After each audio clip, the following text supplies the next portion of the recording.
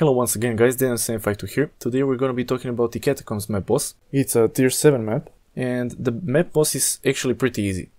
Uh, you will find him in an open area, and he's located in, in the middle of the map. As you can see, I discovered the path uh, that leads to the boss room. As I said, it's uh, in an open area, and the boss is really easy because it's just a necromancer. He summons a lot of skeletons. As you can see, he spontaneously summons these kind of ethereal balls that you don't want to touch because they deal some damage, but not that much. As you can see, it's really negligible.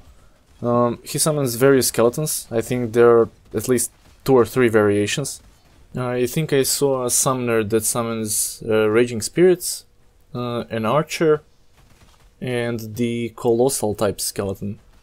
I'm not sure if there is any other, but I think that's it. Uh, the Archer type casts Rain of Arrows, the Colossal type just beats you up, and the Summoner just summons Raging Spirits. That's the only thing uh, you have to worry about, and boss itself is quite easy. And that's it. Hope you guys enjoyed. See you next time. Bye.